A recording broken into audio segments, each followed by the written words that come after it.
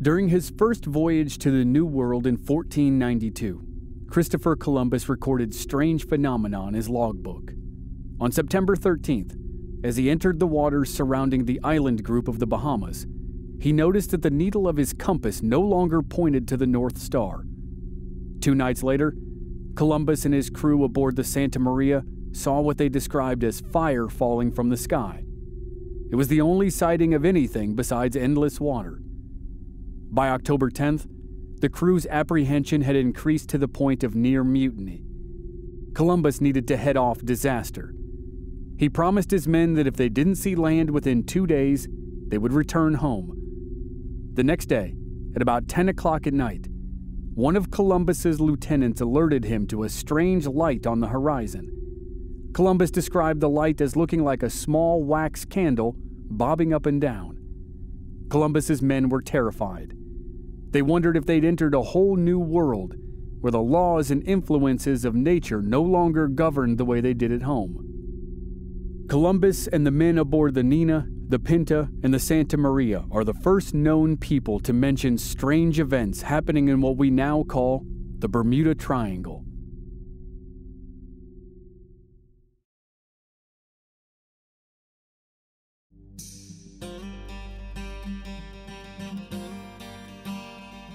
From Black Barrel Media, this is Infamous America. I'm your host, Chris Wimmer. In this season, we're telling some of the most infamous stories about one of the most mysterious places on Earth, the Bermuda Triangle. This is Chapter 1 Ghost Ships.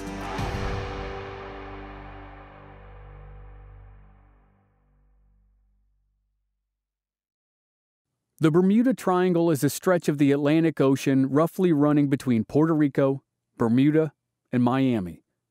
It's been credited with the deaths and disappearances of over 8,000 people since the mid 1800s. When Columbus landed on the island now known as San Salvador on October 12, 1492, he ushered in a new age of empire in North America. Shortly after he made his voyage, his compass problem was explained as being the difference between true north and magnetic north explorers very quickly learned how to adjust for the mathematical difference. As for the shower of lights he saw on the horizon, most historians believe that Columbus witnessed his first meteor shower in the New World. And most historians agree that the bobbing light he saw could simply be the nighttime fire activity of the indigenous people he was about to meet. It was all explainable, but many things that happened there were not explainable, and we still have no answers. Even though historians seem to explain the strange things witnessed by Columbus and his crew, there are some who believe that Columbus witnessed something else. In the century since 1492, people have interpreted the compass problems and visions of lights in the sky to be the work of meddlesome alien forces. One treasure hunter maintains that he's identified a craft on the bottom of the ocean near the Bahamas. It has 15 horizontal structures the structures are massive, each measuring as much as the length of a U.S. football field, and they all jut out from a center object. The explorer also found other bizarre and unexplained formations around the center object, all of which are covered in thick coral. Scientists on the hunter's team said coral couldn't naturally grow in those formations, and the coral could be thousands of years old. The treasure hunter used the secret maps and data left to him by his deceased mentor, a NASA astronaut. The mentor was an outspoken believer in UFOs and that the US government actively concealed proof of extraterrestrial visits to Earth. And the astronaut said the Bermuda Triangle was where many of the ships landed. One notable triangle researcher and author has long maintained that Christopher Columbus and his crew were too far from land to be able to see lights started by indigenous people. As for the compass problems, the researcher theorizes that Columbus was in danger of losing the faith of his crew. They might have been about to mutiny. So Columbus calmed them down by saying there was some kind of strange natural force at work in that area. That strange force was wreaking havoc on his instruments, and that was why they were having problems. It was better for Columbus to blame the issues on a mysterious, undefined force than to allow for the possibility of user error. Whatever happened with Columbus and his crew, whether it was genuine mysterious phenomena or easily explainable coincidences, new stories were about to emerge from the Bermuda Triangle that defied explanation. There were stories of vanishing ships and vanishing crews, and eventually vanishing Navy bombers in World War II, and hundreds of disappearances since then. From the late 1700s to the mid 1800s, things got really weird.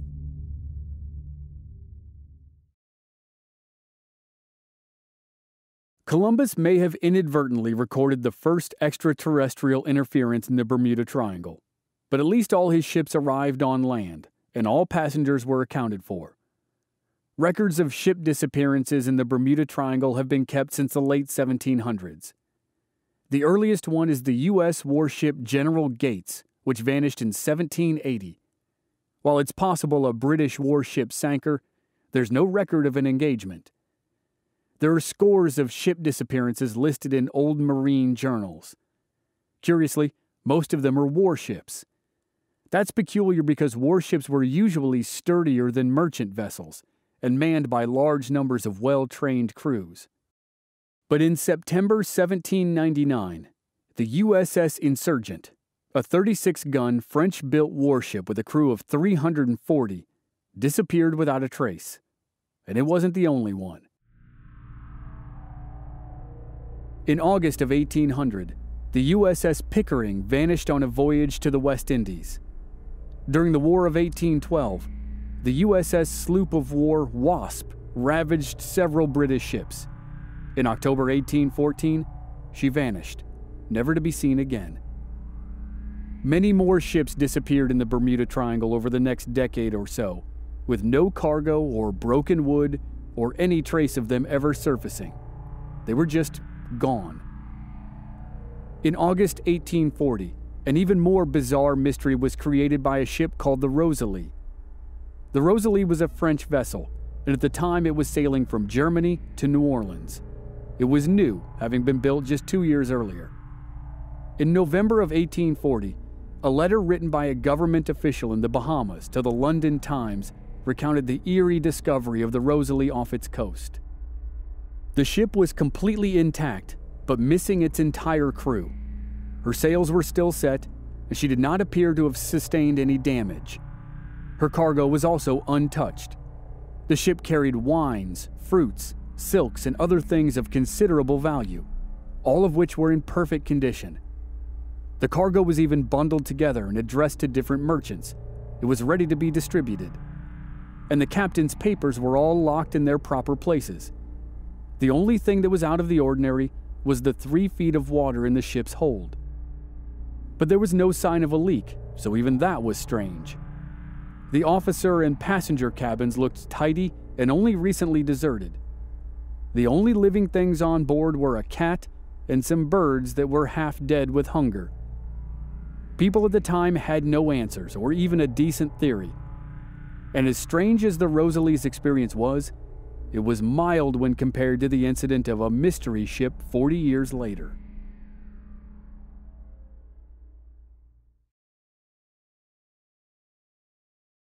In December 1880, the Ellen Austin left Liverpool, England for the long journey to New York.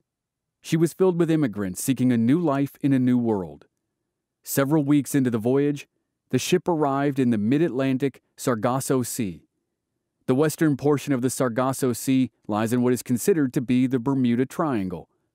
The sea can be very calm for days at a time. So, after a few days of relative boredom, Captain Griffin was happy to have a distraction when another ship drifted into view. It was considerably smaller than the Ellen Austin. As Captain Griffin studied it through his spyglass, he noticed something odd. He saw nobody on board, and no identifying name or flags.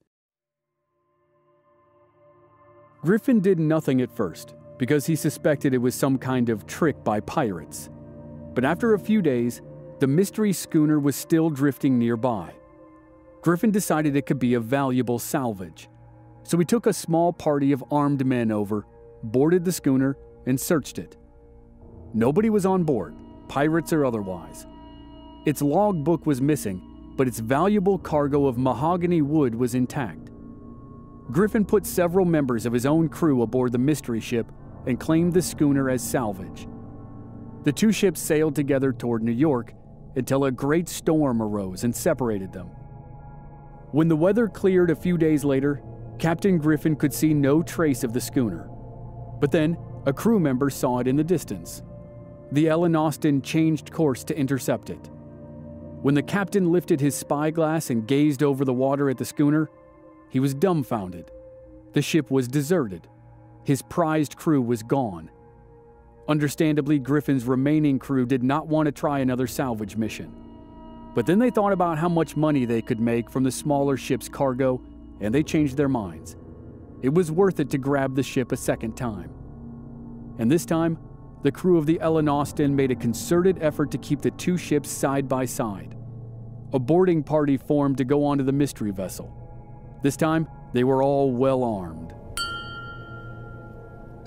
The two ships rang bells all throughout the night, so each craft would know exactly where the other was. But that night, a dense fog rolled in. It was so thick that the Ellen Austin lost sight of the schooner's lantern. But they still had the bells, the men on the ships continued to ring the bells to stay in contact, even though they couldn't see each other. And then the bell on the schooner stopped. The Ellen Austin clanged her bell throughout the night but received no answer. In the morning, the fog lifted and revealed an empty ocean. There was no trace of the ghostly schooner or the men who volunteered to leave the Ellen Austin, and they were never seen again.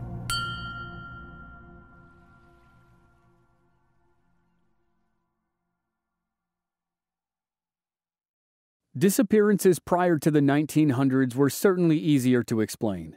The ships were made of wood and could be torn apart by violent storms.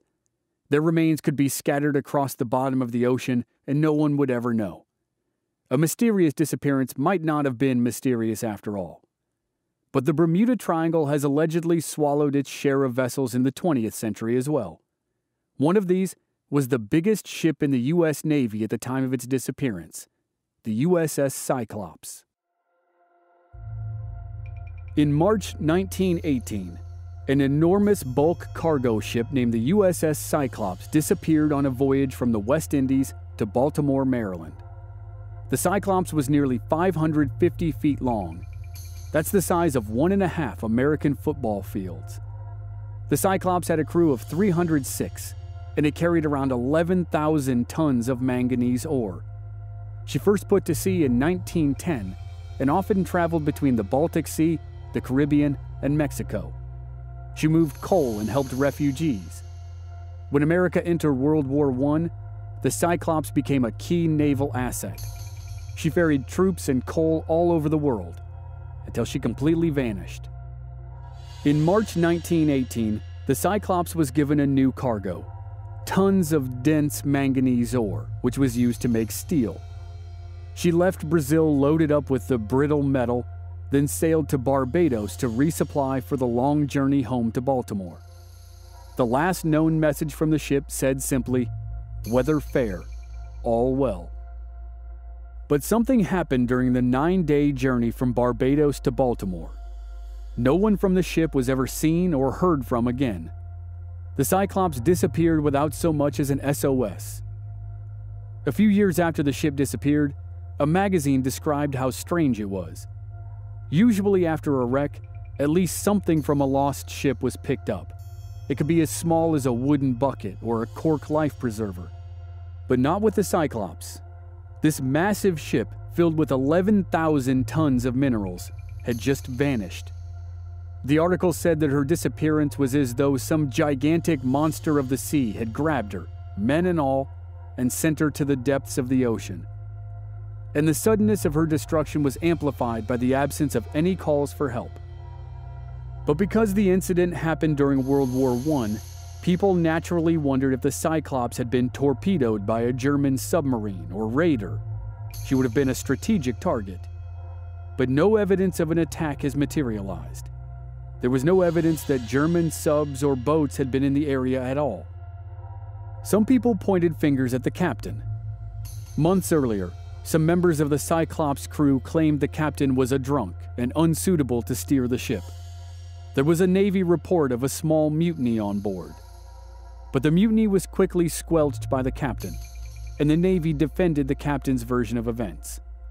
It appeared it was just the work of a few troublemakers, and there was no serious problem. But to this day, there is no evidence of what happened to the Cyclops. The U.S. Navy released an official statement, part of which said The disappearance of this ship has been one of the most baffling mysteries in the annals of the Navy, all attempts to locate her having proved unsuccessful.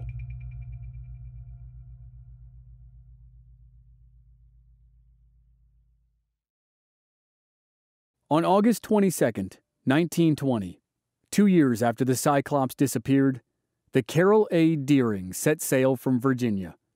The Deering was only a year old and in perfect shape. It had an experienced captain and a crew of 10. It was bound for Rio de Janeiro, Brazil, with a cargo of coal. A few days after it set sail, the captain got sick. The Deering turned into a port to replace him. In spite of the bad start, the ship delivered its cargo on schedule. The new captain gave his crew a long leave in Rio. Finally, on December 2nd, the ship left Brazil and began the trip back to Virginia. It stopped in Barbados for supplies. While on shore, the ship's first mate got really drunk. He complained to the captain of another ship that the crew didn't like its replacement captain. The first mate also said that he had to do most of the navigation because, unbeknownst to most people, the captain had terrible eyesight. And furthermore, he planned to do the captain bodily harm before they reached Virginia. The first mate was arrested for being drunk and disorderly, and it didn't take long for his words to reach his captain. But the first mate apologized when he sobered up, and the captain bailed him out of the island's jail, and they set off for home. On January 29, 1921, a lightship keeper in North Carolina spotted the Carroll Deering bound for its home port. The Deering hailed the lightship, whose job was to act as a floating source of light in dangerous waters. The keeper saw a tall, thin man with reddish hair aboard the Deering. The man called out to the keeper through a megaphone and reported the ship had lost its anchors in a storm off Cape Fear. According to the keeper, the man had a foreign accent of some kind, and he asked the keeper to notify the ship's owners of the problem. But the lightship keeper had a problem of his own. His radio was out, so he wasn't able to report the distress of the Carroll Deering. The keeper said later that he thought it was strange that the crew seemed to be milling about on the quarterdeck. That wasn't normally an area where the crew was allowed. Two days later, on the morning of January 31st, a worker at the Cape Hatteras Coast Guard station spied the Carroll Deering run aground near shore. Its sails were still set, and its lifeboats were missing. Rough waters kept boats from reaching the wreck for another four days. When rescuers finally arrived, they confirmed what they had already suspected. The Carroll Deering was abandoned. The crew had vanished like ghosts. There were no personal belongings on board. There was no logbook or other papers. The key navigational equipment was gone, and so were all of the anchors. Despite an exhaustive investigation since then by the FBI and other authorities, no sign of any of the ship's crew or logs has ever been found.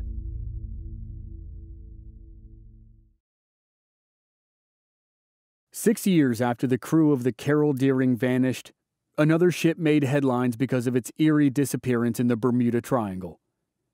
On March 13, 1926, a freighter left Port Newark in New Jersey. It was headed for the west coast by way of the Panama Canal.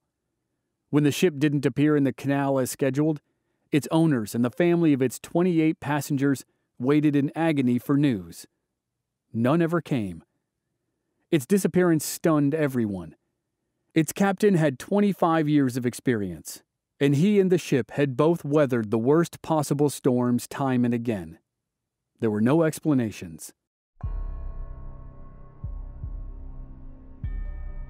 In 1941, those who remembered the disappearance of the USS Cyclops 20 years earlier were shocked once again. That year, the Cyclops' two sister ships, the Proteus and the Nereus, both vanished while traveling from the Virgin Islands to the United States. As the 20th century wore on, there were many more bizarre ship disappearances in the Bermuda Triangle. In some, it was just the ship's humans who completely vanished. In others, the entire vessel with its crew ceased to exist. One of the strangest was the story of the Rubicon. On October 21, 1944, off the coast of Florida, a Navy blimp on an anti submarine patrol sighted the 90 ton Rubicon. At the time, she was an unknown vessel drifting about 35 miles east of Key Largo. The blimp notified the Coast Guard in Miami by radio. Two boats motored out to investigate. When they arrived, the guardsmen made strange discoveries. The personal effects of the crew were intact, neat and tidy. The ship's log was there, which told them the ship was registered in Cuba. Everything seemed to be in order, except the lifeboats were gone. It wasn't clear if they'd been purposefully removed or if they'd been snapped off by violent winds or waves. And two of the ship's three rudders were gone, as well as, of course, the ship's entire crew.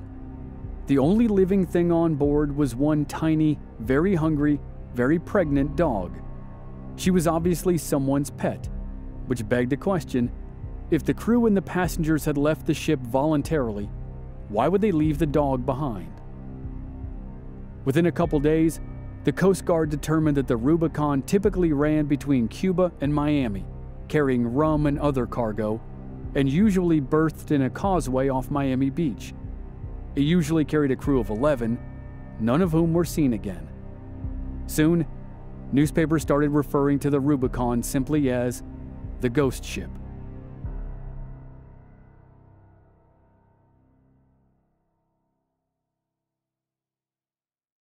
Most of the recorded disappearances of ships and crews in the Bermuda Triangle happen to be from vessels from the United States or nations near the United States, such as the case with the Rubicon in Cuba. But not always. The Soviet Union, with one of the most sophisticated navies in the world, has its own share of unexplained occurrences in the Bermuda Triangle, including that of potential alien activity. While patrolling there in the 1980s, Soviet Rear Admiral and nuclear submarine commander Yuri Beketov noticed that his onboard instruments often malfunctioned. He said they seemed to be jammed by a force coming from interference outside the submarine. On more than one occasion, Beketov's sonar system was said to have picked up unidentified objects moving at over 265 miles per hour underwater he said that kind of speed was a challenge even on the surface, but water resistance is much higher. It was like the objects defied the laws of physics. Beketov concluded there was only one explanation. The creatures who built those objects far surpassed human beings in development. On one occasion, a Soviet nuclear submarine, which was on a combat mission in the Pacific Ocean, detected six unknown objects. After the crew failed to leave behind their pursuers by maneuvering, the captain ordered the sub to the surface. The objects followed, then rose up out of the water and flew away. According to one Soviet era Navy intelligence veteran, ocean based UFOs often showed up wherever NATO fleets were concentrated. That meant they were mostly seen near the Bahamas, Bermudas, and Puerto Rico. He said they were most often seen in the deepest part of the Atlantic Ocean, in the southern part of the Bermuda Triangle, and also in the Caribbean Sea. Both the Soviet Union and the United States were so concerned about strange sightings and the loss of ships and submarines in the Bermuda Triangle that they decided to work together. In 1975, they jointly announced a five year study called Polymode. They wanted to find out exactly what natural phenomenon might be causing the losses. The joint operation was held east of Bermuda, on the fringe of what is considered the Bermuda Triangle, or what newspapers were now calling the Devil's Triangle. The scientists who worked on Polymode mostly agreed on their findings. They felt the Bermuda Triangle had weather systems and underwater reef formations that are rarely found in other places in the world. That combination was probably causing the losses.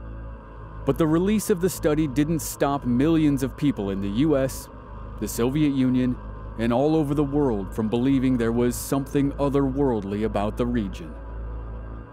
And thanks to the best selling books of three men in the 1970s, the obsession with the Bermuda Triangle was about to explode.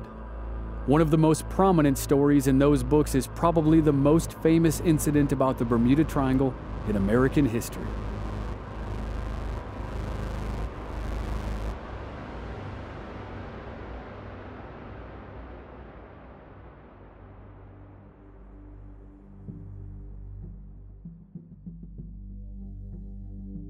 Next time on Infamous America, it's the story of one of the biggest unsolved mysteries of the Bermuda Triangle the disappearance of five Navy bombers in 1945, better known as Flight 19. That's next time on Infamous America. And if you're a member of our Black Barrel Plus program, you already have access to the full season. If you're not a member, you can sign up now through the link in the show notes or on our website blackbarrelmedia.com. Members receive access to each new season in its entirety one week before the season begins for the general public. And members receive exclusive bonus episodes. Sign up today for just $5 per month.